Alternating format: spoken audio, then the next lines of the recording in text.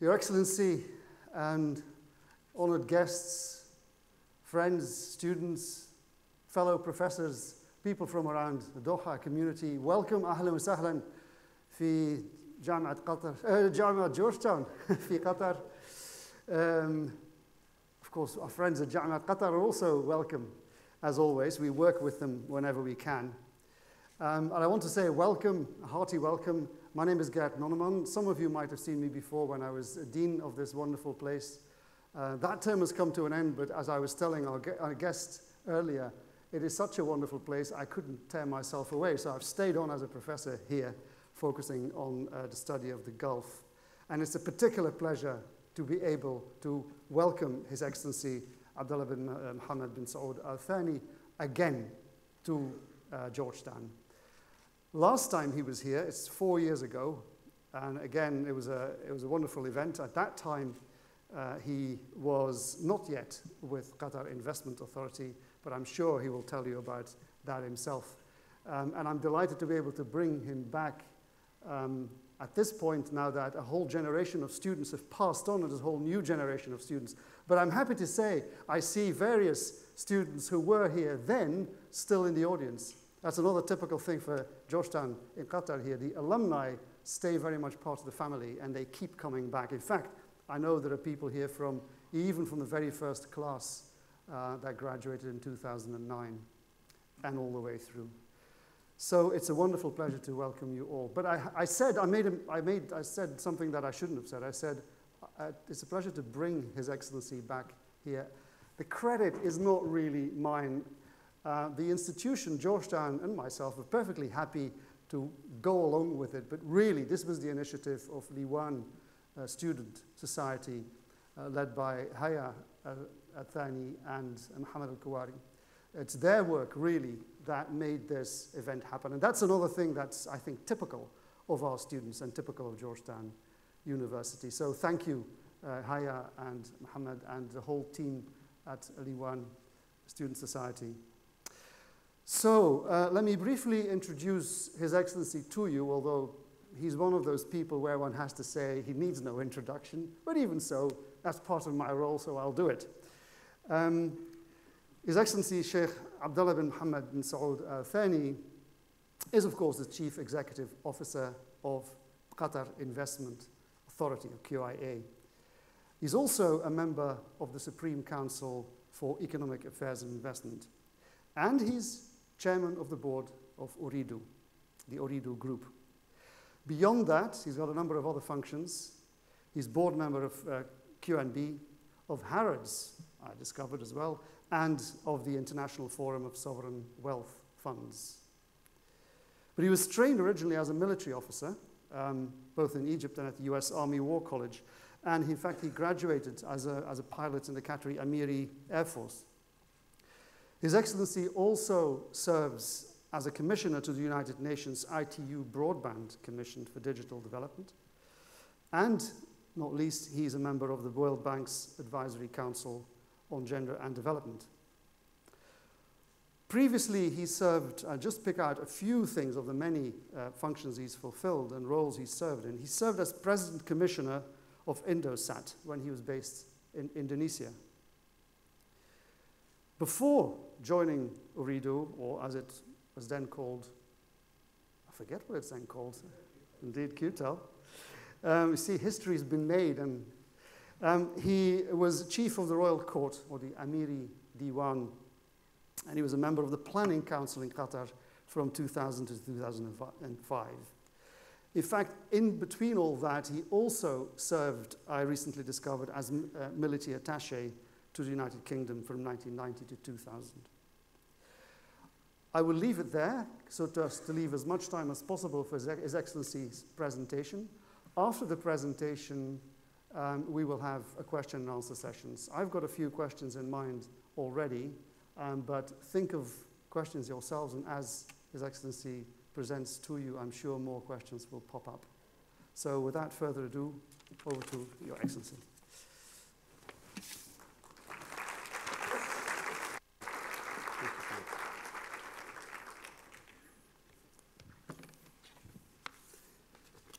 You talked uh, a lot about the positions I took, and I, I do not want them to uh, overestimate that I will give a lot of information. I'll try to give uh, as much as I could, but uh, if, you, if there is anything I did not cover and you wish to know, please just, you know, after the uh, lecture or whatever you want to call it, just ask the question. But bear in mind, sometimes I, I answer questions, sometimes I do uh, flip around. So I'll do my best. Well, thank you, uh, Professor Nonneman, for your kind uh, introduction. Uh, I should say good evening, everybody, and uh, also assalamu alaikum wa rahmatullahi wa barakatuh. I heard that uh, His Excellency Al Atiyah was here a week ago, and uh, he spoke at length about the blockade. Well, no one can be better than him to talk about it, and also he's a senior citizen, so he can say whatever he wants. I have to be very careful what to say. So really, I was uh, actually in uh, trouble, so I had to mobilize and adjust my uh, brief very quickly because I do not want to cover everything he covered. So I, I really, maybe I went away or diverted a bit from uh, the uh, lecture, but again, as I said, if you needed to ask any question regarding the, the uh, title of the lecture, please do. I also added some flavor to the to the lecturer so that I gave an example of true experience of success that I will highlight uh, shortly. I will also focus on uh, what happened into the banking system under the blockade and how we are uh, overcoming it.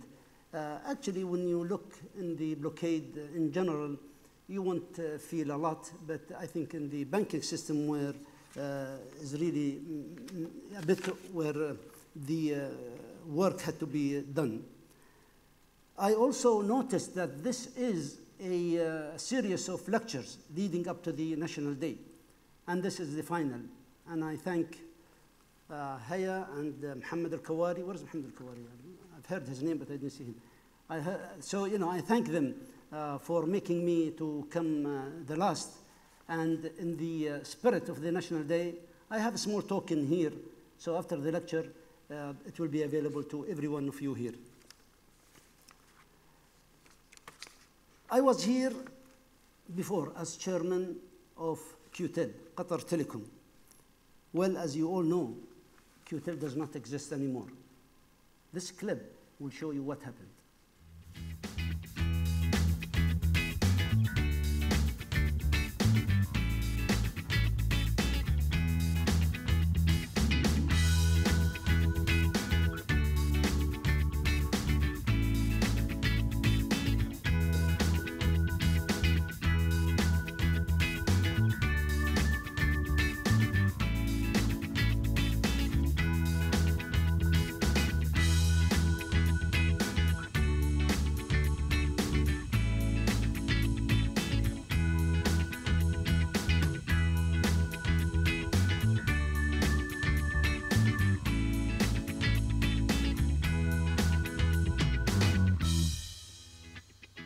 The moment of truth. our new brand embodies our customer promise of a human growth. A new brand which reflects and conveys our approach to customers. A single brand that will unify the whole QTEL group with a single look and feel. It's playful and engaging. It reflects confidence, energy, and empathy. We are adding color and personality and we are introducing a new name to unite the entire group. Ladies and gentlemen, I present to you our new identity. Ooredoo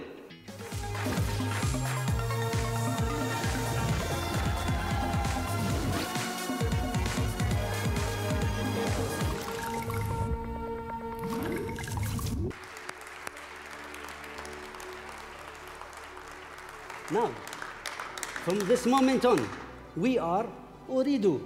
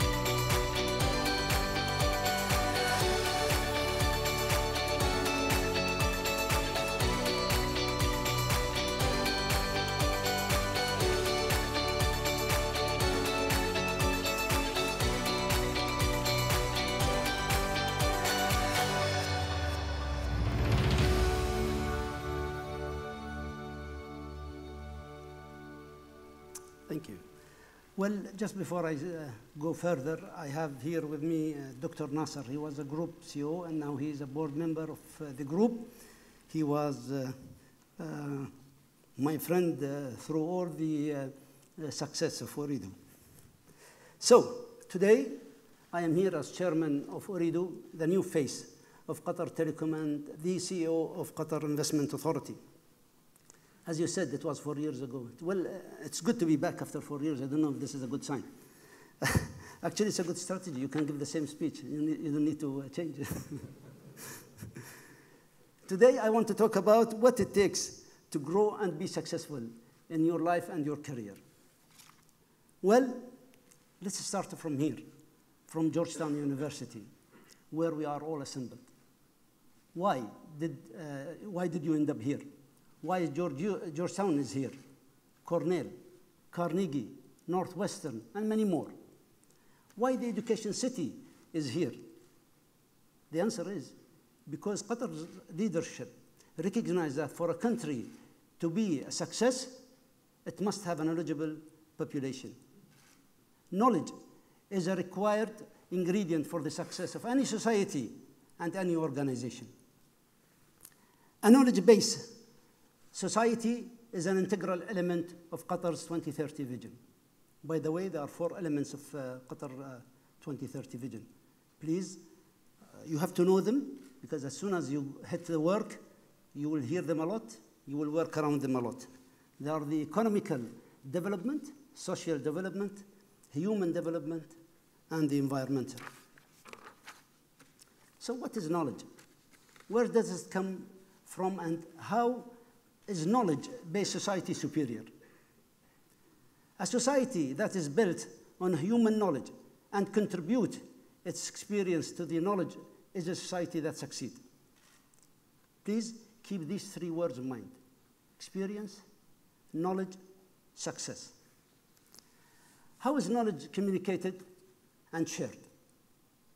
A knowledge is passed from one generation to another within society, organization, and also within institutions like Georgetown. It is shared through communication. Without sharing, knowledge is simply lost. In order to share knowledge, you have to communicate it to others. For most of human civilization, knowledge was shared verbally. It was only 5,000 years ago that humans invented writing, a new way of sharing knowledge. Writing is a better way to preserve knowledge. And more recently, in the past 100 years, it became possible to transmit knowledge electrically and electronically via cables, airwaves, audio, video, and text. In Qatar, this is the role that Ooredoo plays. It gives people access to knowledge and easier sharing of knowledge within Qatar and beyond. Ooredoo plays a key role in Qatar's 2030 vision. It enables knowledge-based society in Qatar uh, that's seeking. So what is experience? How do we acquire it? Ooredoo began as a small telecom company, small operator here in Qatar. In 2005, after many heated debates, the board of QTEL agreed to expand beyond Qatar. Many times in life, if, for every decision, you will be faced with so many options. For us to expand or not, it was a 50-50 chance. Then you start thinking, which countries of the 200 around the globe? Is it a single name or a group, or a group of companies? Now chances are no more 50-50.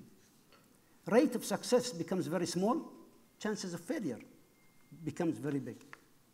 It wasn't an easy decision. Look back now after 10 years, QTEL transformed itself into a global telecom provider operating in more than 10 countries.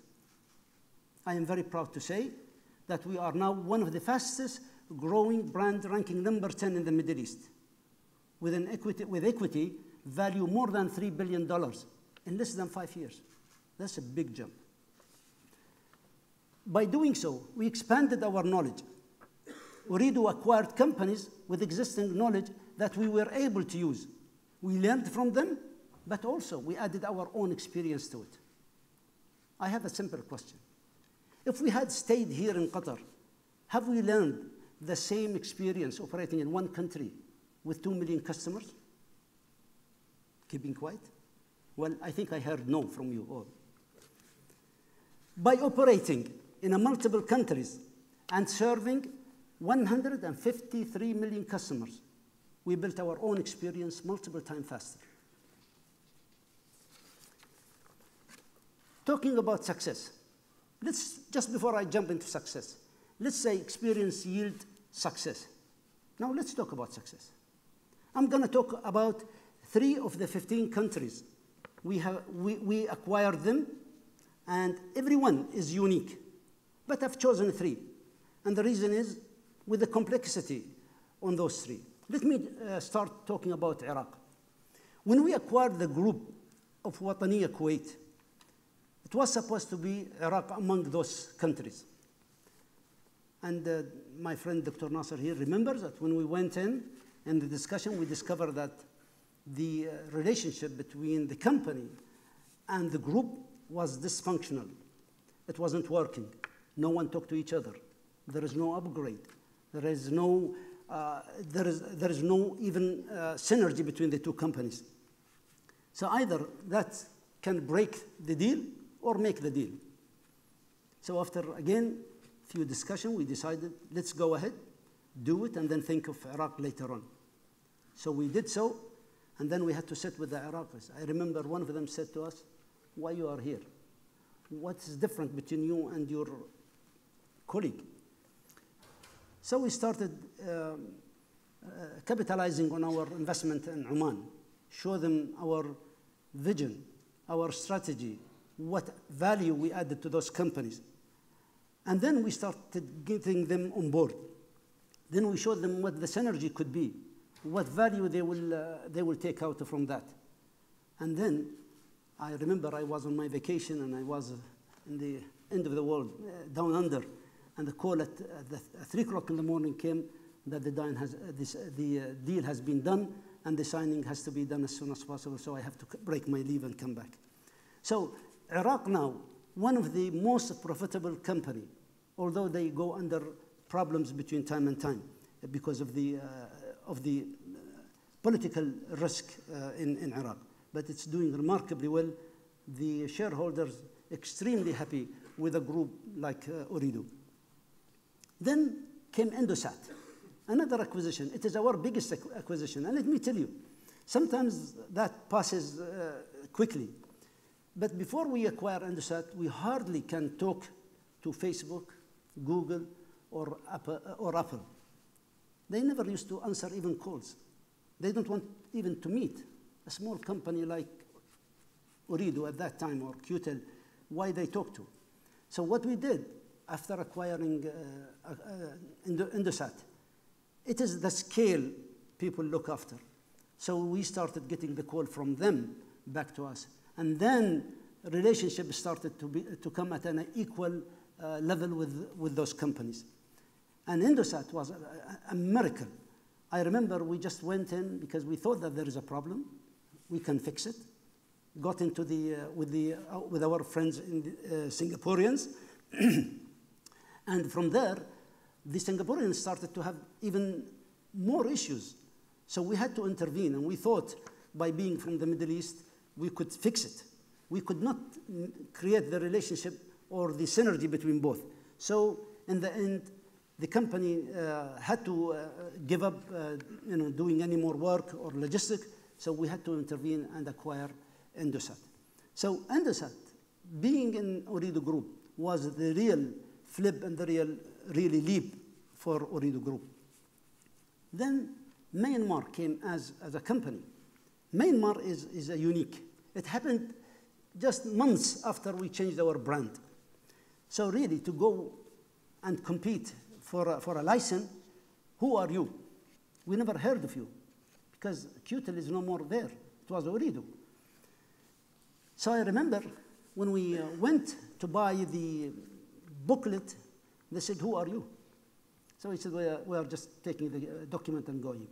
So we took the document and we found out that 92 companies competing for Myanmar. 92. Some of my friends in the plane, coming back from Myanmar, they decided just, you know, we should not waste time. Forget it. So, between a discussion between me and the board, and of course, Dr. Nasser as a group uh, CEO, we said, no, we will go in. We will not, uh, you know, give up from uh, first uh, moment. So we went in, and the first time we had a call, that 50 dropped from in the selection. So the call uh, between us internally is, are we among the 50 or we are still in? They said, no, you are still in. Fine, thank you so much. So, you know, less uh, of a competition now. After, again, few months, the call came in, another 20 dropped. Guys, are we among the 20 or we are still in? No, guys, you are still in. Until it came to the last three. When it comes to the last three, I told my friends, look, if we uh, do not win it, I think we should be proud by getting selected up to the number three for two licenses only. Two licenses for three now. So uh, we were competing with the Norwegians, correct me if I am wrong, and the French and us. So I, I remember the day that the decision has to be made. I was in Doha airport, the new airport. Just prior to the opening, we were going and inspecting the airport, and I was with the team, and the call came in, and they said, guys, you might not get it. Why? They said, you know, this is, uh, you know, I, I'm sorry to say it, but it's coming from the Middle East, and we don't want to have any, uh, any bother here, no, uh, you know, ethnic or whatever, we, so we don't want. Uh, so I, I remember I gave a call to, to the uh, American ambassador here. She's a friend of mine still, and I told her, you know, the situation, and if she can, she can help. She said, well, it's too late now. But again, we just said, you know, we'll leave it. I remember next morning at 7 o'clock, I was in my office. The call came from Myanmar that we won the second license. So the first one went to the Norwegian, second one went to Ridu, and I was extremely, extremely happy. And I remember when we got it, we, the, it says under one condition that number three is trailing and waiting for you. If you miss one item, one item, you will be taken away. Whatever money you uh, spend or you invest, it's gonna go. So really, it was upon us to work around the clock, not only to achieve the minimum they asked for, but we really beated all the, uh, the KPIs and, and, and, uh, uh, and uh, you know, uh, numbers they gave us. And we were even launching the service even before the date were given to us. And I was very proud of that. Now, someone, of, um, someone might say, fine, you know, you talk about, uh, about acquisition and you talk about, uh, you know, um, getting, you know, uh, you know, uh, hard in the competition. What is the result? Show us the result. I will show it to you in those three slides. Look at the year 2000. In the year 2000, our uh, customer uh, were what, 400?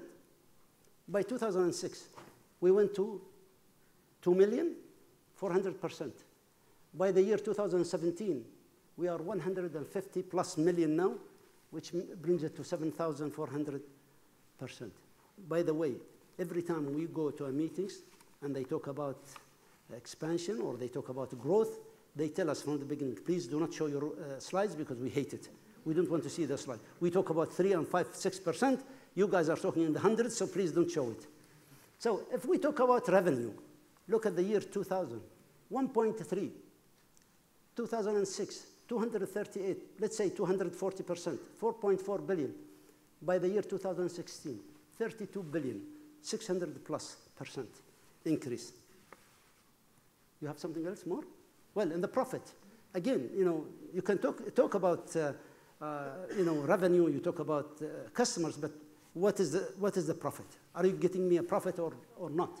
You could see from the figures around you, 127 and 67 percent. So if someone talks about success, let him see those. So, experience is also what allowed Qatar successfully deal with the blockade. Qatar is under a blockade, but you notice a limited impact of the blockade on our daily lives. Supermarkets shelves are full, business as usual. Qatar Airways is flying. But the blockade is being felt in traveling to those neighboring countries. We have been blocked from entering their airspace, territorial uh, water, and they limited our access to the banking system. It is very serious. They stopped us or stopped our access to their banking. No credit lines. It's all cancelled. As you have heard from the media, Qatar Central Bank and the QIA had to intervene to support Qatar's banking system. It was a truly serious matter. So, what is banking system? In a simple nutshell, QIA invests in so many banks. We have large stakes in a number of them. We have Barclays, Credit Suisse, Santander, and many more in Qatar and outside Qatar. The role of the bank is to keep deposit from customers who wants their money to be safe, earn some returns, be available at any time, and could be withdrawn at any moment notice. On the other side of the equation, banks makes loan to customers who want to pay as little as possible, keep the money as long as possible, and pay it back according to a preset schedule, not when the bank wants it. So you could see there is, a, there is an imbalance in the society that the banks is trying to bridge. And that's their business opportunity. This is exactly what, uh, why it doesn't take you much to put pressure on a bank. Imagine what will happen if just 5% of the customers one day suddenly decide they want to take their money out. That's what we call a run on the bank. And it happens when the news or rumors spread about the bank, that this bank is under trouble. They worry that their money is no longer safe there. So, but the customers taking that money not take it to their home under the pillow. They, get, they take it to other bank. They keep it in the banking system. So the other banks now have excess cash that they must lend to earn interest on. This is where the banking system works. It protects against a bank run. Credit lines are established among banks and the central bank. These credit lines are like short-term loans. When banks experience a high demand for cash withdrawal, it borrows from the other banks and from the central bank. When foreign depositors started taking their money out of the Qatari banks and access to the Gulf banking system was stopped and wasn't available, QIA intervened with the, uh, with the central bank by moving funds from overseas into our banking system in Qatar. QIA provided cash to offset the withdrawal of the, of the deposit and the cancellation of the credit lines. Qatar has been able to successfully deal with the blockade with minimal impact on our daily life. So what is success? Let's look at the ingredient of the success.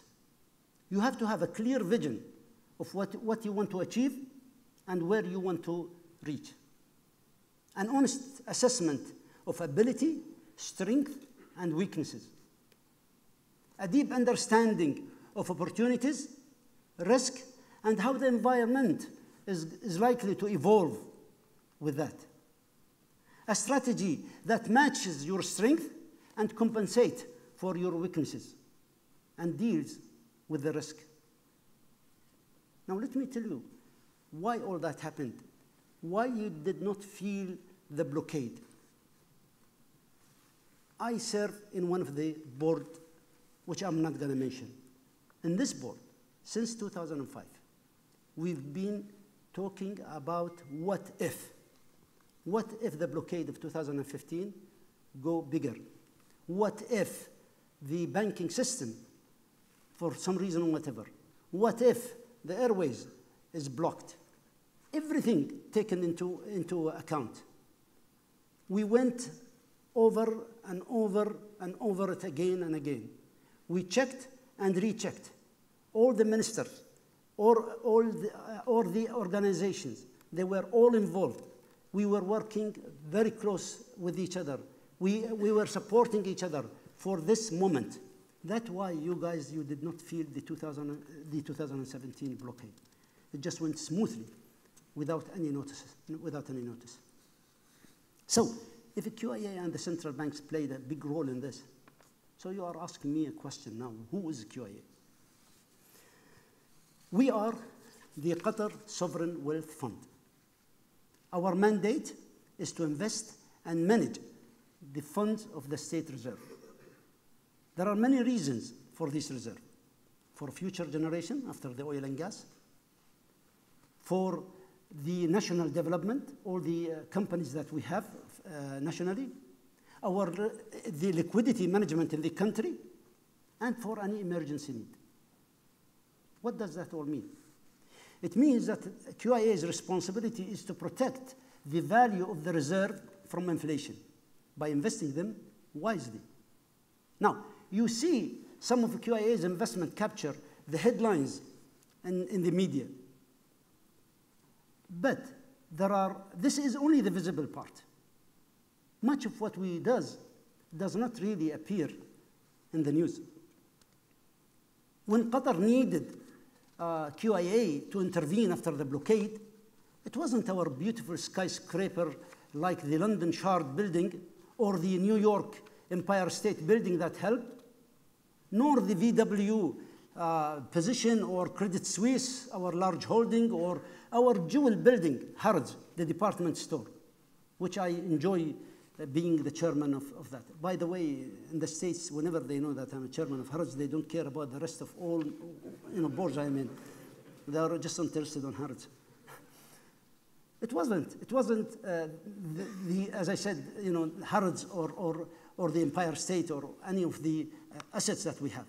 It was a boring, highly liquid, low volatility investment in global uh, treasury and indexes. Okay, what comes after success? You succeed, then what? You enjoy the fruit of your success. There are financial benefits, yes, but it's what happened inside you that matters. You feel good about yourself, that you have accomplished something that not everyone can accomplish. It is a feeling of satisfaction and self fulfillment. This is why, this is when you too should start thinking about sharing the fruit of your success. At Ooredoo, giving back is our core belief. We have committed ourselves to the advancing nine of the 17 United Nations Global Sustainable Development Goals. And I think it is here. Can you go back? Can you go back? Can you go back? This is the 17 uh, initiatives. Slide forward and we have the nine of them. Now, out from those, uh, those nine, we, we run in all our companies so many of them, so many initiatives, either here in Qatar or in, in any country, even in Kuwait, in Algeria, Tunisia, you name it, in the Maldives, whatever, you name them. But I will pick only three, which I, I feel it's really need to be touched. In Qatar, already organize a sport in the health sector. Let's take the health sector now for, for a while. In Qatar, already organize a sport and health initiative across the country. We've done this with Aspire, with, with almost every organization here, with program designed to encourage a healthy lifestyles for all. Initiatives including Ooredoo Marathon, by the way, which is every year in January. I hope I see some of you there because I do run the marathon. Community activities for Qatar National Day, the FINA Airwaves, uh, the Swimming Pool World Cup, the Dialysis Center here in Qatar, and in Indonesia, the mobile clinic with Leo Messi Foundation. And in, in the Maldives, also with the uh, mobile clinic between the islands.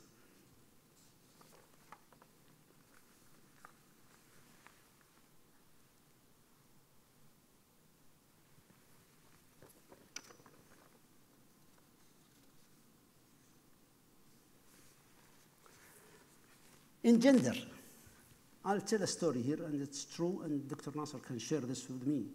During the war or after the war in Iraq, what happened in, the, in, the, uh, in Iraq that we noticed that there is no women approaching the company and, and purchasing a uh, mobile uh, services. And that's why I was selected to be in the gender board of the United Nations. And now Dr. Nasser is taking that uh, from me after uh, being in the, in, you know, in QIA, I'm very busy. So, you know, the question came from one of the staff, you know, why there is no women's, you know, purchasing uh, service. And after a survey, we discovered that there is, you know, problems in the country, unrest in the country, uh, especially the, uh, the guy will say to his family, do not leave the house, don't go. So there is a miss of communication, even between the family and the father, if he's out. What if something happened to him? No communication. So again, we found that the women really do not go to the places where it is full of people. So we had to come with, with an initiative. And we created a line called Almas. We knew, we knew the women's like uh, the diamond, so we called it Almas. So we called it Almas, and we said, you know, to the uh, women, you know, we will bring you the service to your home. We will uh, create a service customized only for you, only for what you, uh, what you need. So you do not get harassed, you do not get a call from outside the family uh, group. So we can customize a service just for you and for your family. And then the father or the family started to realize that this is a good service. Why not? And then in less than a year, we got 3 million women into our network. Now, to, this service is um, going to be uh, nominated uh, for the uh, GSMA Global Award, which I'm truly, truly proud to see this is happening. Now, when it comes to innovation, this is another area where we are really doing good work uh, on.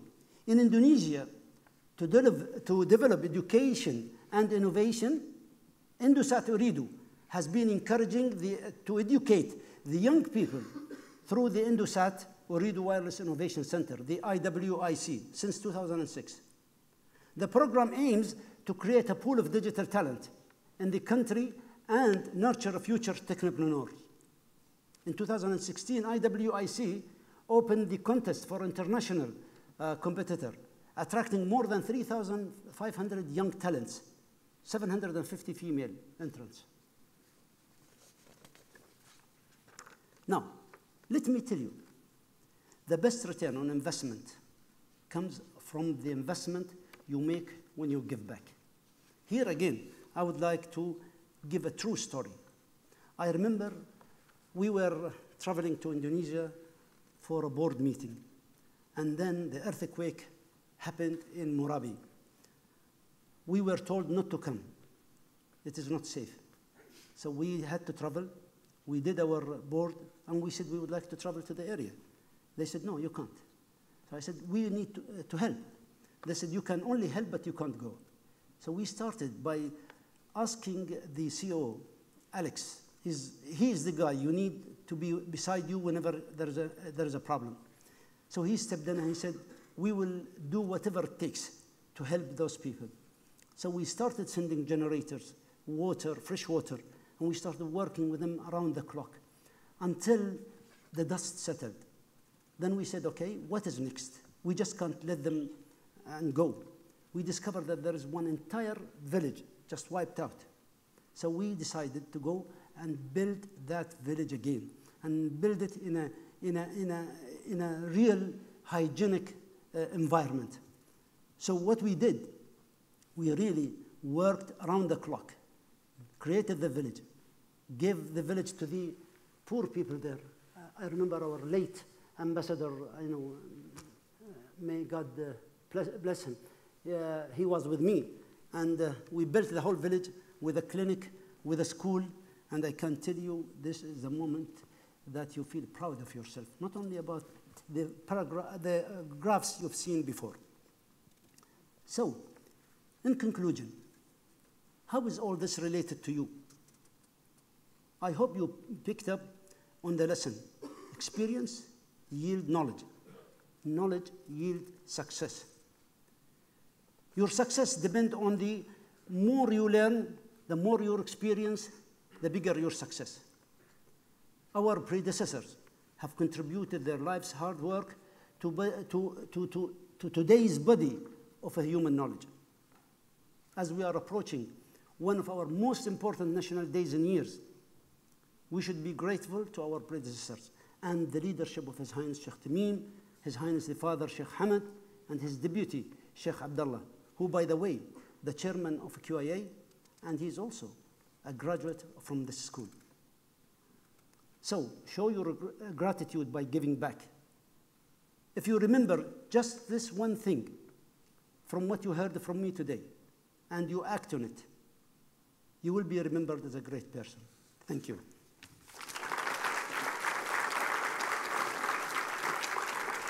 Ready for your questions. Well, thank you very much, you. Uh, Excellency. Um, in, in, some ways, it reflects some of the themes that also emerged from His Excellency Sheikh uh, uh, um, Abdullah uh, Latia last, uh, last week. Um, experience, risk, and so on. But a tremendous story, and I'm, I'm very particularly uh, happy about your personal, very personal stories that came through. Um, a few questions to start, start us off with, perhaps, and then, as I said earlier, please, you know, get your brain cells working if they're not already in high gear and come up with questions yourselves. The, the first one, perhaps, on Ooredoo itself. One of the striking things that also came, became clear from your presentation, Ooredoo is one of those companies from Qatar and in the Gulf that's shown it's possible for companies from here to become globally competitive. But it still remains in, in, a minority, arguably, of companies from Qatar and the Gulf who operate at that level. Do you think it is possible, it is likely that we're going to see a growth in those truly globally competitive companies from Qatar and the region. Thank you for this question. Actually, let me say that if there are two companies that really worked well and became a flagship of Qatar was Ooredoo and QNB, Qatar National Bank. And I'm proud to say,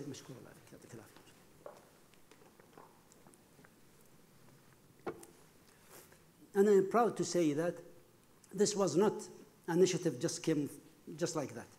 It, it went, as I said, through very hard debates at Ooredoo board. I remember when we started talking about it, even some people in the government at that time, they said, you know, you guys, you are hardly running a, a company here in, in Doha. Everybody's complaining about your service, about your prices, and you think you, you are going to go and, you know, uh, be a company or a global company.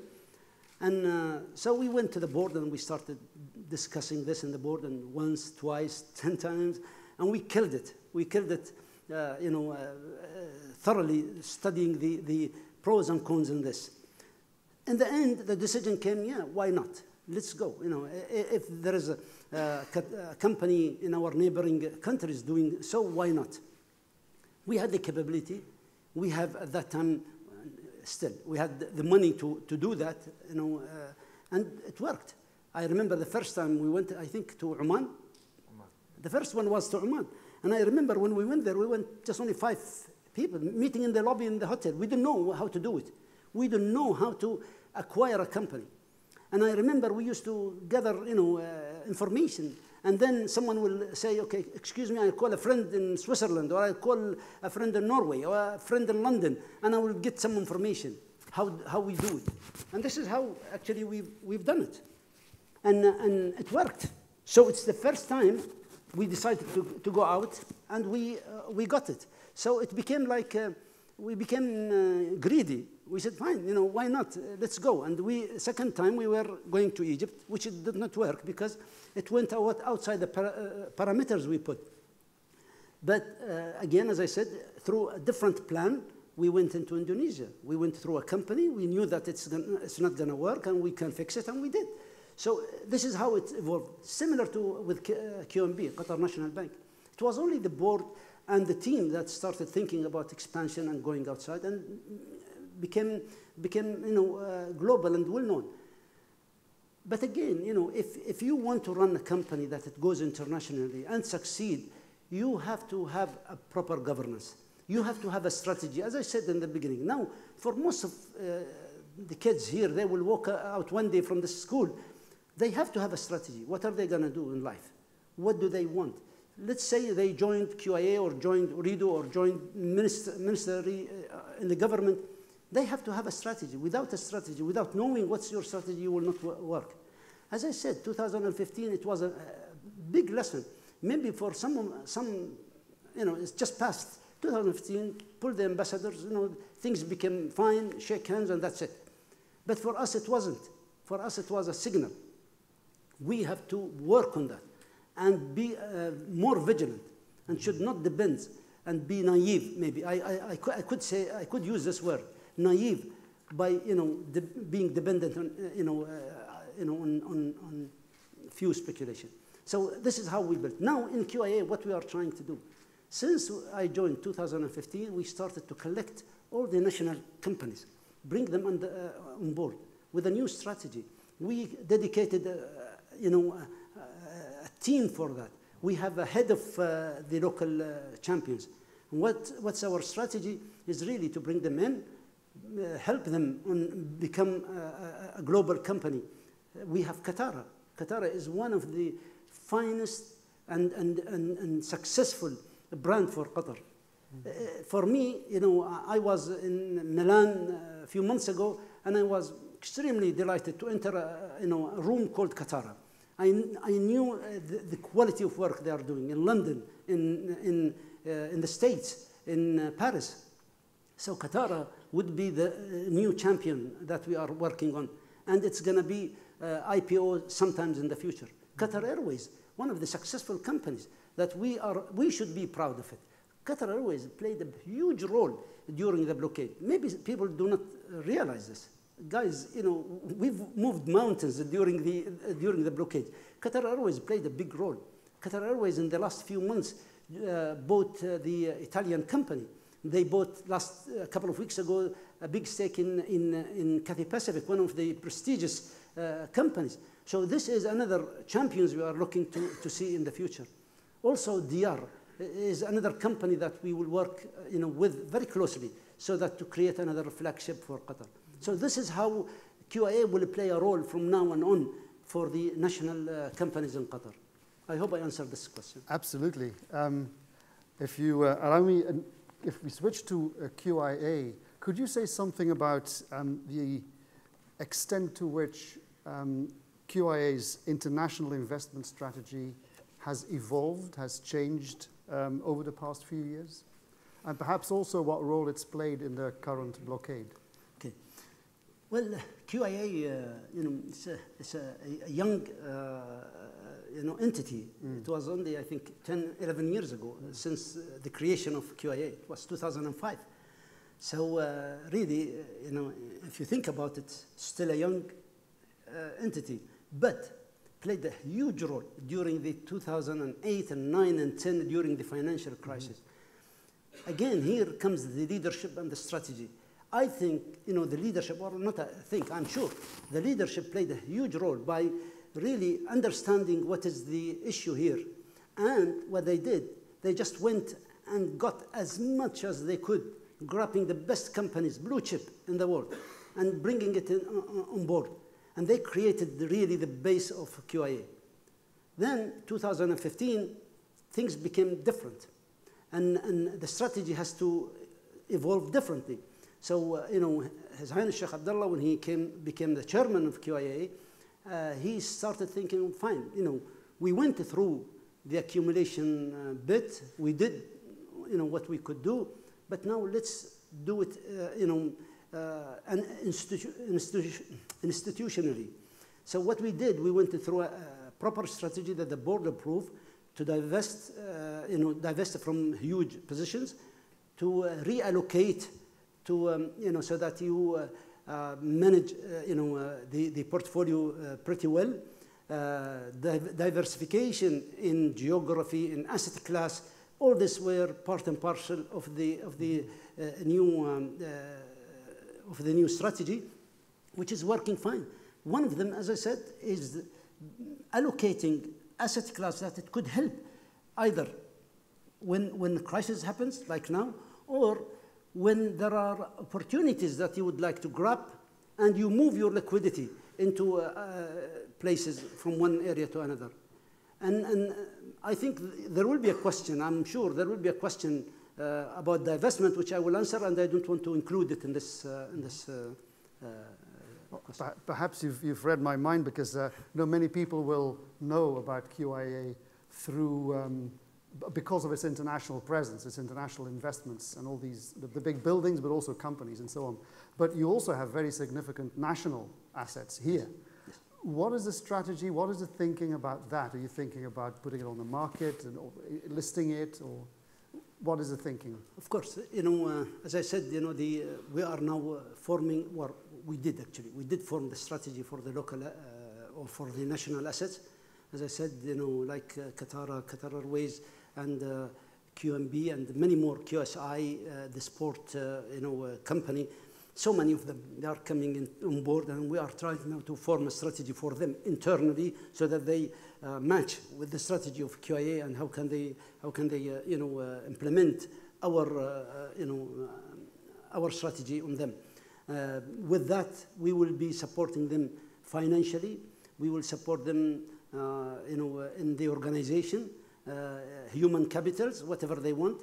We've been taking uh, at least 10 grad from uh, Qatar Foundation every year, either from here or Carnegie, and uh, we adapt them into our, uh, you know, uh, company.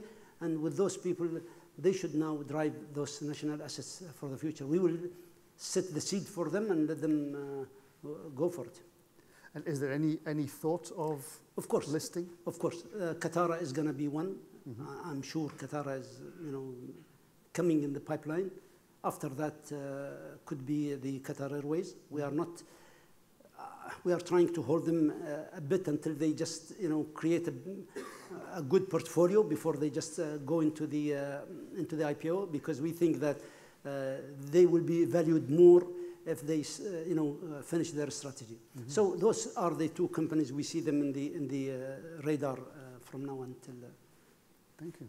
medium t- term, let's say.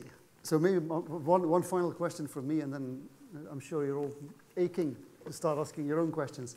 Um, in the, the sovereign wealth fund world, there's been, for many years, there's been this ebb and, ebb and flow of discussion about transparency and all kinds of sets of rules. And so I just wondered, particularly since you're also on the, the board of this sovereign wealth fund ins- institution, um, what, what the thinking in, in Qatar, in QIA, is, what the position is that Qatar is, is adopting there. Well, uh, I can I can't uh, you know hide this away from you. Yes, in the in, uh, we are trying, like any sovereign wealth fund, they are trying to keep the information as as close as possible because some of them are in a growing mode, some of them are. Uh, trying to be uh, you know sustainable and they want just to keep it for a while until they know what is uh, what is the future uh, impact the other thing is uh, we are adapt, uh, adopting the, um, uh, the, um, uh, the sovereign wealth fund uh, rules and regulation. Of course, uh, since we came in, we, uh, you know, I became, I joined them, uh, you know, voluntarily. I said I, I would like to join so that we can learn from you and how can we start implementing your, uh, you know, ideas. And now we are gradually bringing in you know, more transparency into the system. Also, we are in the COP 21, if I'm not mistaken, is happening in Paris. We are going to come up with a, with a paper that we are going to sign with any sovereign wealth fund that w- would like to join so that you know, we can be also supportive, not only uh, in, in, a very in a transparent mode, but also environmentally. Do we really invest uh, in, in things that harms the, the environment or harms uh, the people or is it uh, arms? It's what, what? So we need to be to put it into a frame that you know sovereign wealth fund should really work on the you know have ethics on on on on, invest, on investment. Thank you. So, um, His Excellency has said he'd, he'd very much like to organize, moderate the, the rest of the Q&A himself. So, over to you.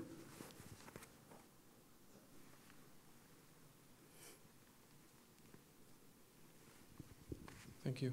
Uh, thank you, Your Excellency. Um, very nice slides as well. You can obviously tell it's been prepared by the Ooredoo team, not the QIA team. Uh, thank you for your time. Very informative. Uh, I just want to, I have two questions. One, I'll set it up and then I'll ask. The second question is straightforward. Um, so the first question is we say you're probably one of the people in, in the room who knows the most about the contribution of oil, the oil and gas sector to Qatar's economy. You know how big the contribution is to the government's revenue. It's massive. And uh, we talk a lot about a knowledge-based economy. We're trying to move into a knowledge-based economy, which is great. But what's the next step that we need to take is to say, right, but what do we mean by that? Like, what sector exactly are we talking about when we say knowledge-based economy? That's not enough, for me at least. I need to know um, in the next 40, 50, 60, 100 years, when oil gets depleted, oil and gas, because it's a depletable resource, what sector will come in to offset that? What is that sector exactly? And, and wh what is, uh, I want to know your opinion. There might not be a right answer right now. Uh, what is what do you think Qatar has in terms of do we have a natural advantage in a certain sector or is there something that no one else can do that Qatar can capitalize on? So what could be that sector? For example, if it's a, a technology hub that we want to be in the world, we need to address it now and we need to start revamping the system. Even the education system, the social system, we need to, that, that will yield more programmers, more engineers, IT engineers, and so that's the first question. Clear? Okay. Okay. The second question is uh, I wanted to know your views on, on the Bitcoin craze that everybody's been on. Uh, some uh, your kind of um, serious views because um, it's getting too hot, and I know a lot of personally a lot of friends who are getting into this uh, blindly. Um, yesterday it reached 10,000, we know, and I just checked, it's 11,000 right now.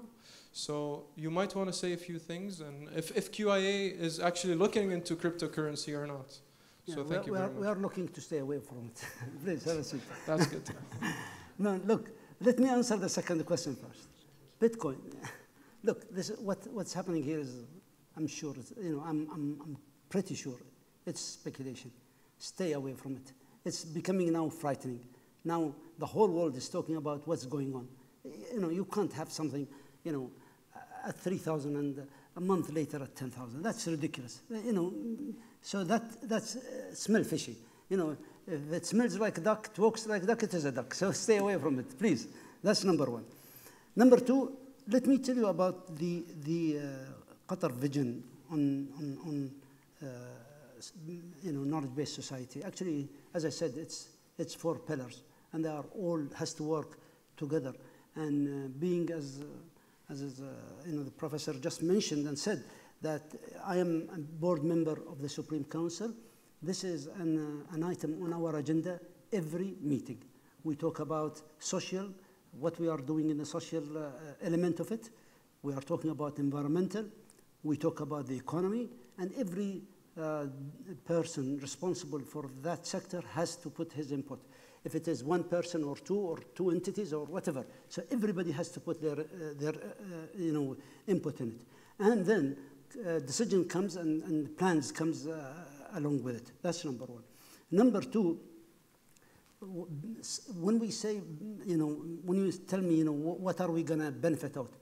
You will benefit a lot. Let me just tell you, in the technology side, just the technology part of it, if we adopt the technology side uh, bit of it, we will save a lot, billions of, uh, of money in each sector you talk about. Let's talk about, for instance, construction. And instead of having 4,000 or 5,000 in each company that do, a, a, you know, a low labor, you can, with the technology, you don't need all that amount. I'll, I'll tell you true story. I was in Paris uh, a few months ago, and a, a friend of mine called me. He said, you know, come and see my apartment. And I went to see his apartment. It was still, you know, uh, lots of mess. And I said, who's doing the work? He said, those two people. And I said, how come two people, you know, does all this work? Said, he said, yeah. And when I looked through the window, which I had to be very careful not to, not to fall, I saw a small, uh, you know, machine that it does everything for them.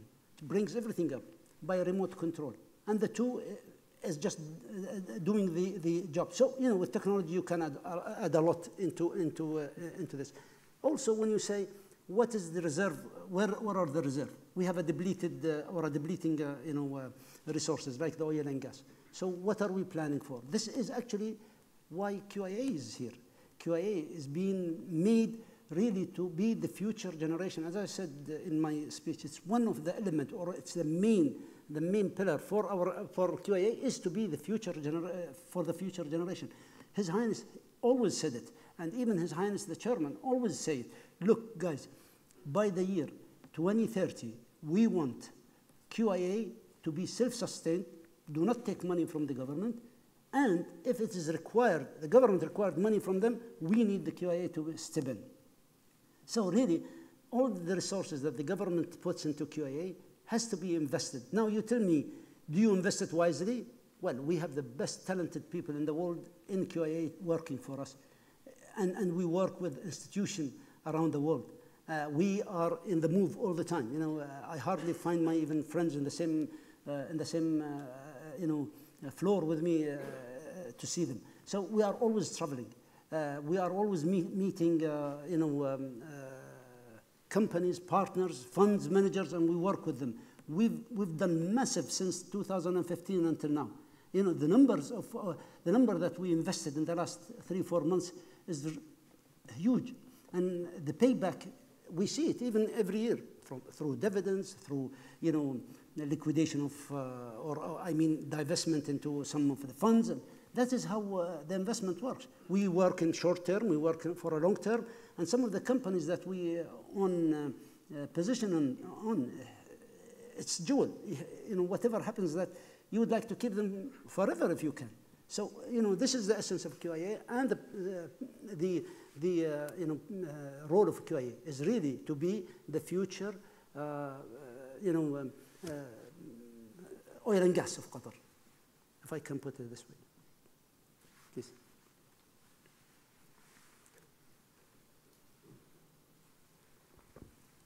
Thank you, Your Excellency, for your time today. It's always a pleasure hearing you speak. Uh, I just want to ask a question. I think you've successfully shown Ooredoo Group's uh, expansion and the, how the profitability and revenue was able to increase. Uh, but do you believe within the Qatar market there's enough scope for two fully fledged carriers uh, and profitability within that? Speaking about Vodafone, obviously. And a second question, just uh, along the lines of the theme of today's lecture. Um, with, with the lack of a unified GCC, where do Qatari firms, which markets, I think since you're the most experienced business person in this room, which market should they be looking for? As in, yesterday there was a commerce agreement between Iran, Turkey, and Qatar as well, but uh, your personal recommendation, which markets should Qatari firms be looking for outside of the GCC? If you ask uh, me a question, you know, will the two companies, uh, you know, work in Qatar? Yes. You know, uh, let me just tell you, part of some of the good work we've done because of the competition we were maybe a bit lazy in the past, but you know, with the competition, we started to work around uh, all those uh, you know challenges. So uh, I am a believer of competition. So this is this is for sure, and, and we hope we have a, a constant dialogue with our uh, peers in Vodafone. And whenever we have an issues, we take their support. If they have issues like what they've done, what they had a couple of months ago, we were there to support. So really, when we talk, we talk about Qatar here. We are not only talking about two companies. Yes, uh, challenges are there. Uh, the, uh, you know, uh, we compete, yes, but in the end, uh, this is how market. For Qatar and, and, and, and you know, the absence of GCC, you know, I need to be very careful here not to cross the line. But, but I'll, I'll, I'll talk about my, my thinking. I think you know what we had is a sort of a wake-up call. I think we we were thinking that yes, if we needed something, we can get it from here and there. Uh, if uh, the company, if the factory is here, why do I replicate? So you know, let's invest in somewhere else, you know, and, and get the benefit. I think this is a sort of a wake-up call. For us, I think it's a good. Uh, the plan we've done since 2015 worked, worked perfectly well, and uh, I say that with full confidence. And, uh, and I, I'm, uh, I believe that now the markets are, it's not, not anymore uh, only the GCC. It has to be now, we have to look into a bigger scale. We have to look into Asia. We have to look into Europe. By the way, we were, you know, trading with 280 companies or country around the world or 230 around the world. So what is if three or four drops? You, you understand? Uh, uh, the, the, the, their weight in our balance sheet is what? 15, 16%? So what? Uh, this is how, you know, this is the message I'm trying to, to get. I'm, I'm not trying, I will not go deeper than this. But what I'm saying, we are fine. We are fine. Things are working perfectly well. Plans, and there will be more plans to come. And I'm proud to say that, uh, you know, uh, extremely happy of what we've done uh, since the blockade until today, especially in the banking system. In the banking system, it was simple. You take my money from here, I bring mon my money from, uh, from your banks, and I will put it here. What is, so, so what? Uh, you know, there is always an answer to, to the question. If they think that they can inflict uh, damage uh, to Qatar, I think they are mistaken. If they lose one dollar, if we lose one dollar, they will lose one. Simple. And, and uh, I'll, I'll stop here. Okay.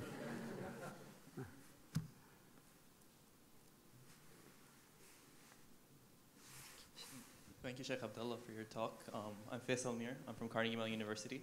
Um, you mentioned about um, how QIA injected billions of dollars into the Qatari banking sector after the blockade um, to mitigate liquidity issues. Um, but if we go back a year and a half or two years ago, after the oil crisis, um, the Ministry of Finance decided against calling on QIA and actually borrowed money to fill the deficit. Um, two questions. First, what was the difference this time around? And second, how does this impact QIA's long-term investment strategy moving forward? Uh, I think you're uh, referring uh, back to the uh, bond that uh, Qatar uh, raised, you know, during during that period. That's nothing to do with the QIA.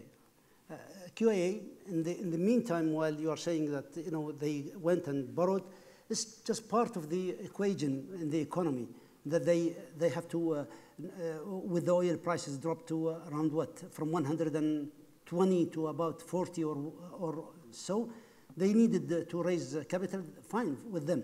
But for us as uh, QIA, we kept investing 2015, 2016, 2017. Today, today, this morning at 11 o'clock, we signed a big check for, for a deal. Two weeks ago, we signed one of the biggest check we've done in the last two years. As I said, you may not hear uh, about it. We, our work continues. Nothing to do with the, with the Minister of Finance. His Minister of Finance, whenever he has access of money, he just, uh, access of money, he say, okay, you take it, you invest it.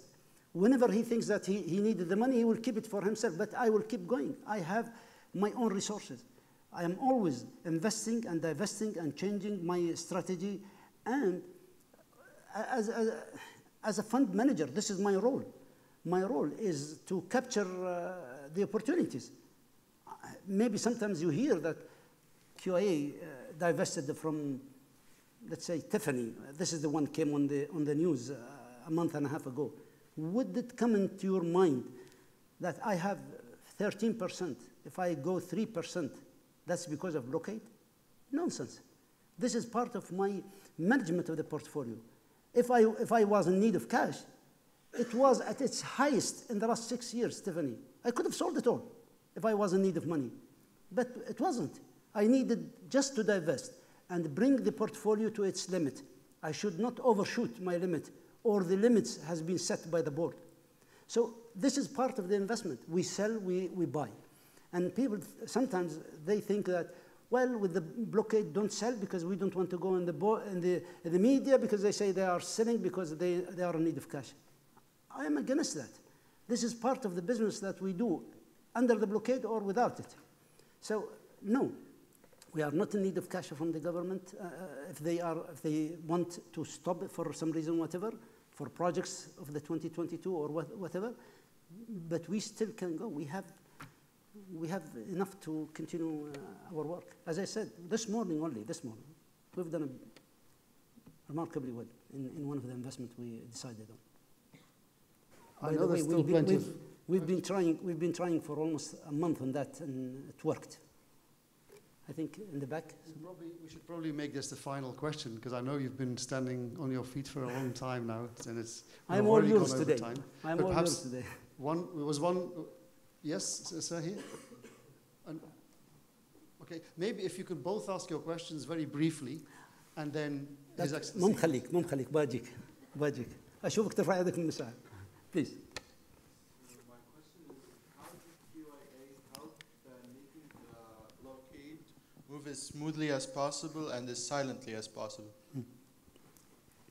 As I said, most of our business is silent. We are, we are in a silent mode. We do not. we played a, big role. We, uh, we as uh, uh, QIA and Qatar Central Bank, I must say that he's, he did remarkably well.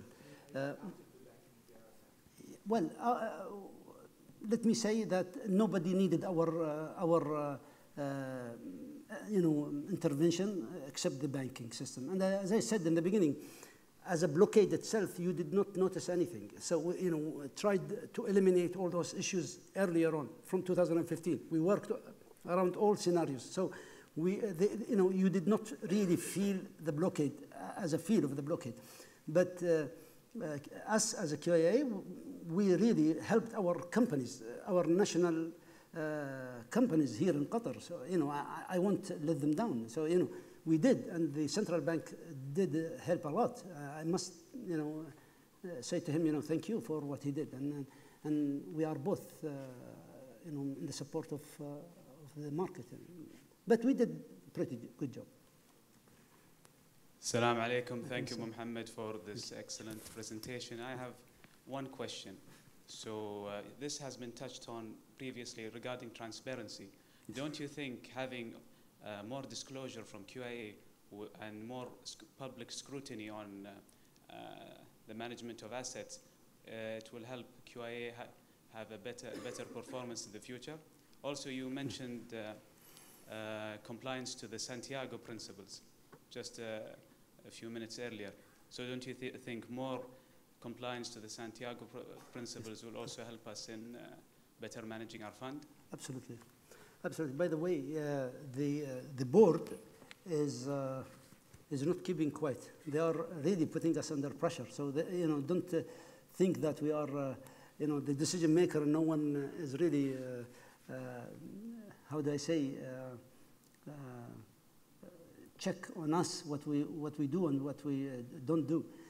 We have one of the big four that really comes in and check uh, our uh, performance, check our uh, documents, and if it is according to the international standard or not. So we are. So the moment they tell us, you know, be more open, we are ready from day one. So if all our documentation is there, we are in the program. As I said, we are, uh, you know, a young uh, entity 10 years ago. Uh, so the first five, six, seven years, it was the buildup of the, of the institution. So people are not really thinking of what is Santiago Principle or what is the uh, rules and regulation on investment, uh, what is partnership. So it was more or less, you know, just acquire as much as you could, pile as much as you could, take the opportunity of the, uh, of the down, down uh, the market, market crisis and the financial, of course, the financial. So after that, as I said, you know, from 2015 and 14, the idea came up, okay, now we have a big portfolio. How do we carry on? Are we just gonna just pile more and more, or it's gonna be um, uh, through you know a proper way of, of thinking uh, in the in the investment side, uh, the um, uh, the the scrutiny of investment and how, at what basis you go and uh, uh, you know invest in what sectors, what are the sectors that it, it has the growth, what sector does not. Uh, you know, all this, it, it is, it is part of the daily work we do. Uh, you know, I, I must tell you, you know, I, I see some of the QIA, uh, you know, some of them are head of the portfolios, if I'm not mistaken.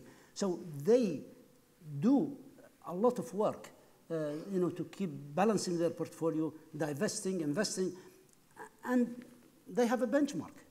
At the end of the year, like now, I think, huh, in the next one month or two, they will be, uh, they will come and say, you know, uh, what's our uh, performance? You know, what did we do? So, you know, they know what's their benchmark. They know what KPIs they, uh, they have to reach. It's very simple. It's uh, one plus one.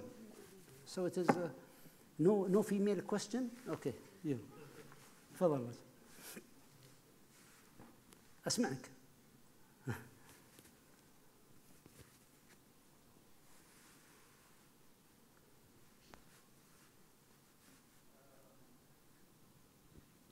Uh, first of all, Your Excellency, I would like to thank you for a great presentation. Um, my question uh, was a follow-up actually to the first question um, regarding, um, well, how we see QIA as uh, our country's tool to be independent from uh, the oil and gas uh, sector, if you wish. And um, so my question is specifically, when do we see that happening? When and how close uh, are we to achieving this kind of uh, vision? Because yeah, just like um, just like the gentleman said uh, earlier, um, it is uh, a source that will uh, perish eventually. So. Um, uh, when do we see this kind of thing happening, and how how does uh, QIA currently see itself in this progress? Like, how, what kind of progress have we made? Thank you so much. First of all, you know, uh, I must apologize for diverting you a bit from uh, QIA into Ooredoo in the, in, the, in the lecture. And the reason was, as I said, you know, I was uh, uh, in London when I got the call that Abdullah bin Hamad Al Atiyah was here. I knew that he just took the floor uh, from me and he gave all the information you needed and why I should come here and uh, talk about the same, same thing. So, you know, I had seriously, I used the flight back from uh, London to just script around the, uh, the, the, uh, uh, the lecture, and I, my team just kept, you know, calling me, you know, when you are going to stop. And actually, this morning, this actual morning at seven o'clock, I was uh, changing some uh, some parts of it, so that I may I wanted to to look more for you guys who was going to graduate next year what does success mean? What, uh, what should, you, should you plan for your uh, future and your career and for your uh, life? And, and uh, I just wanted to touch base on true stories that I lived, uh, you know, all uh, my career, and, and that as a, a lesson really for, for um, some of you. For answering your question, as I said, you know, we have a mandate from His Highness from the first day he told me, you know, you take charge. And the new board came in, and I sat with the board, and they, we met with His Highness, and he said, look, 2030 is your deadline. Now, what I want you to do is to put 230 and work your uh, way down and tell me when you, uh, will you be able to do it or not. If you are able to do it, fine, go ahead and do it. If you are not able to do it, tell me why and what is the resources that you need so that we can make 2030 um, is a reality. So we went, I think it took us three, four months. It wasn't a simple uh, job. And we, may, we used all the resources internally. We did not bring anyone from outside because you wanted the people who lives the, the, uh, the, uh, the exercise, the work every day. They should uh, put the strategy. They should um, honor it and own it and manage it. So uh, we said, okay, guys, it's 2030. So this is 2030. We want it to be the oil and gas. So what is the revenue from oil and gas? So we just matched it and we said, okay, let's go uh, downward. Can we make it from today, uh, 2015? Then after, you know, uh, strategy, full of strategy, we came up with the, uh, you know, with the ideas and we said, you know, we need to fill gaps here and there. We need quality of people of that, uh, you know, caliber to come and fit here and there. And that's what we did from day one. We went and, you know, to the market, brought, as I said, you know, the finest people. And I, I can tell you, you know, I can, can bet on it also. We bet, brought the finest people in the, in the company. And they are working with us, you know, uh, perfectly well. And, uh, you know, the numbers and the results uh, speak uh, for itself and I'm proud to be, uh, you know, a member of uh, QIA as much as uh, proud to be as chairman of, uh, Your Excellency, thank you very, very much. Uh, I know there will be more, more questions, but, oh, no, do you, uh, you did ask for a female question. Okay, okay. I shouldn't have said something.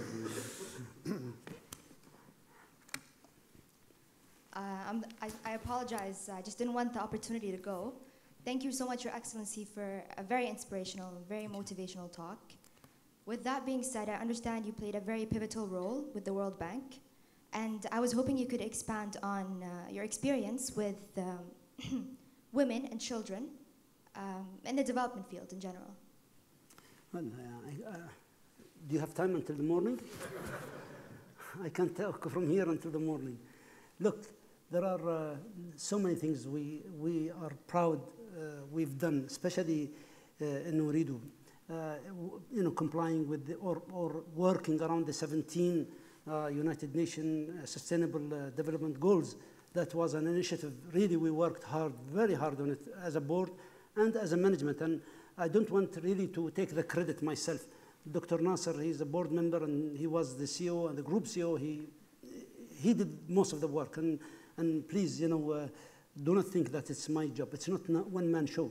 It is the, the, the team that worked really around all the success of Ooredoo uh, through the, the, the, the, you know, the years. Well, we've done so much. I spoke about the health in, or the gender divide in, in Iraq. But let me tell you a few, uh, few stories here. Uh, I remember some of the, uh, some of the um, villages in Indonesia, uh, they, are, they don't have internet access. They can't even, some, uh, some of them, they just can't even charge their own mobile to keep communicating. Uh, some of the uh, villages, they do not have even a pharmacy because of uh, uh, the medicine. Uh, there's no refrigerators for medicine. So uh, for us as uh, Ooredoo, uh, th- those are one of the areas we played a big role by enhancing our stations, uh, mobile stations, by having you know sockets, uh, you know, for people to come and charge, a refrigerator for you know someone to be in charge of those you know medicine for the village. Also in the banking sector, what we told them, look, um, we will give you scratch card. And those scratch card, you sell it between yourselves. It's good for me because they really provide money for me, but in the same time, keeps them working and they generate uh, better money. And a story of one lady in one of the villages in Indonesia. She actually started working on scratch card. Then she said, look guys, you know, could you introduce me to internet? So the team introduced her to internet, iPad, and then she started asking, can I, you know, work with the families because they have relatives in the Middle East or somewhere and they would like to transfer money. Could we do uh, through the, uh, you know, mobile money?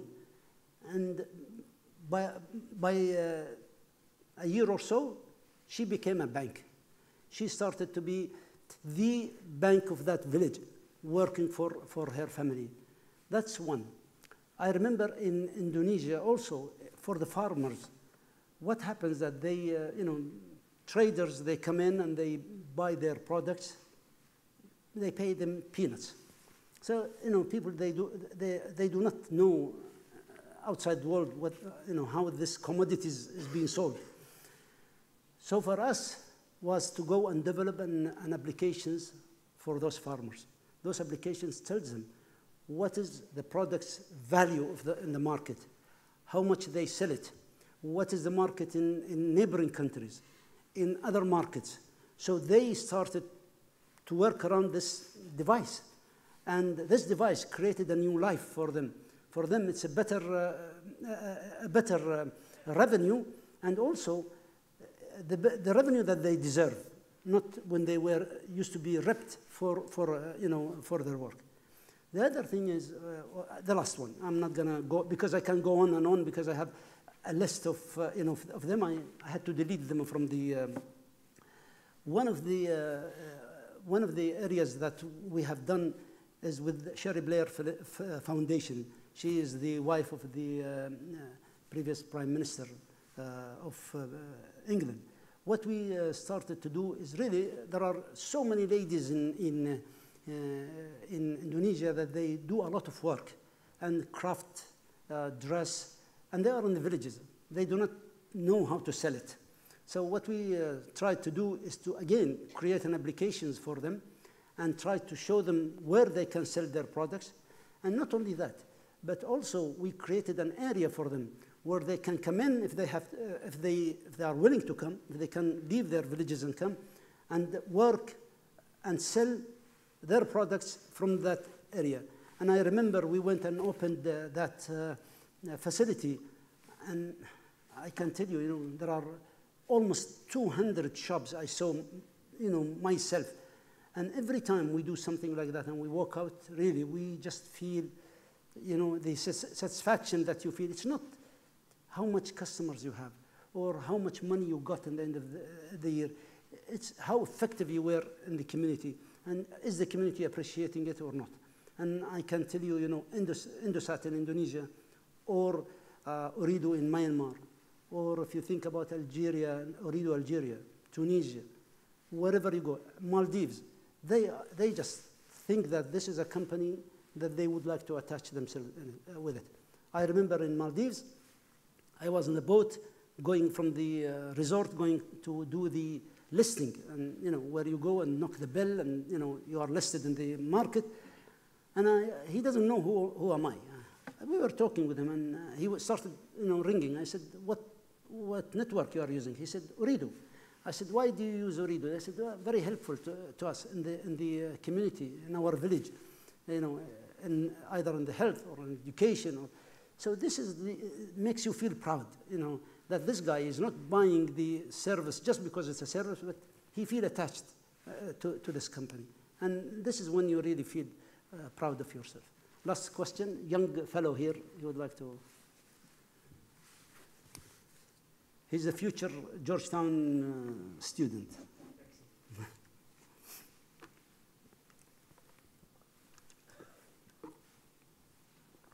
Thank you, Your Excellency. So, uh, so I want to ask you one question. Did you face problems when you wanted to change the name of QTEL to Ooredoo?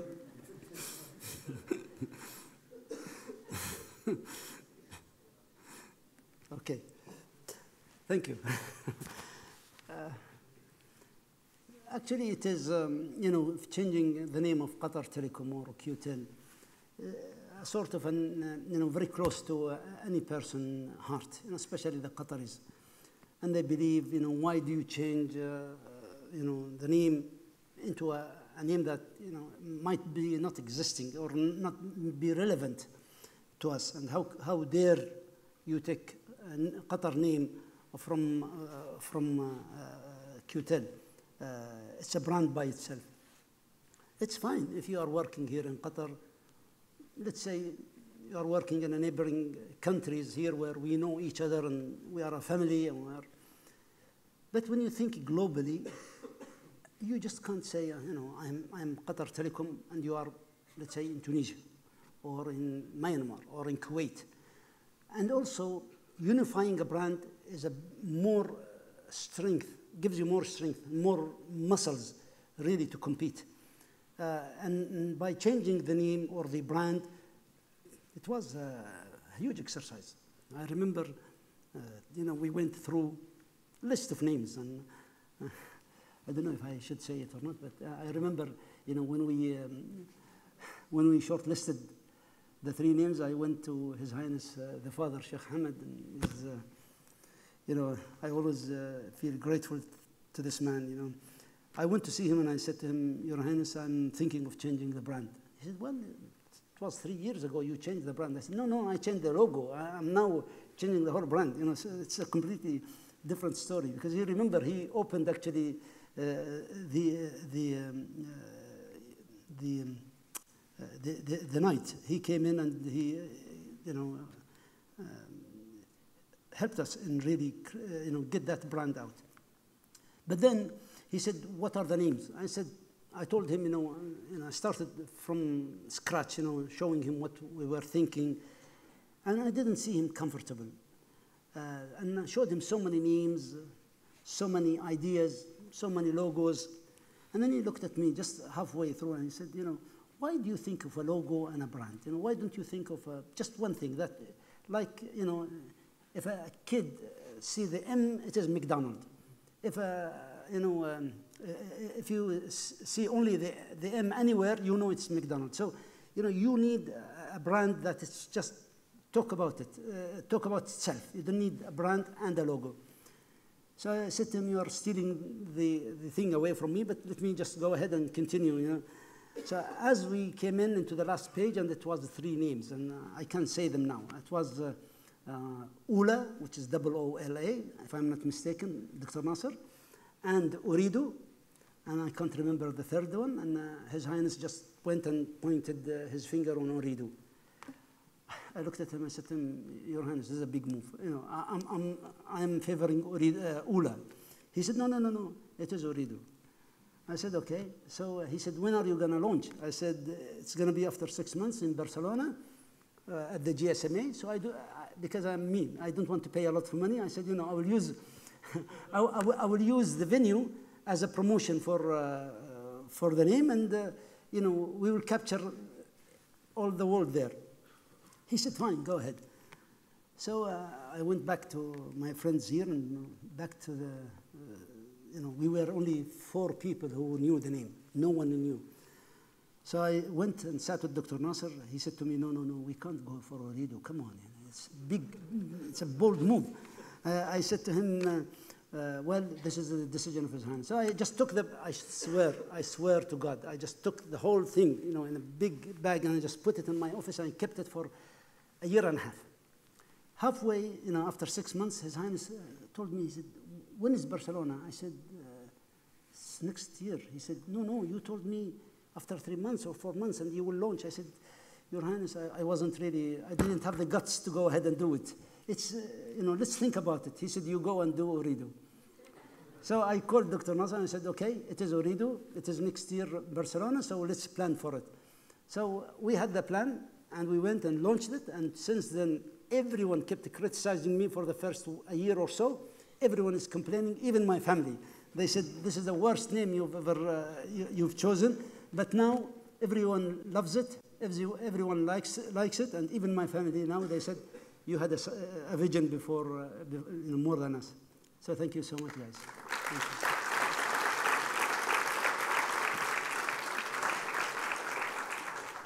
So, Your Excellency, thank you again. Uh, I know you don't need anything to remember Georgetown by, but we just had produced a new uh, thing to, to remember us by. I insisted on giving it to you. Thank you.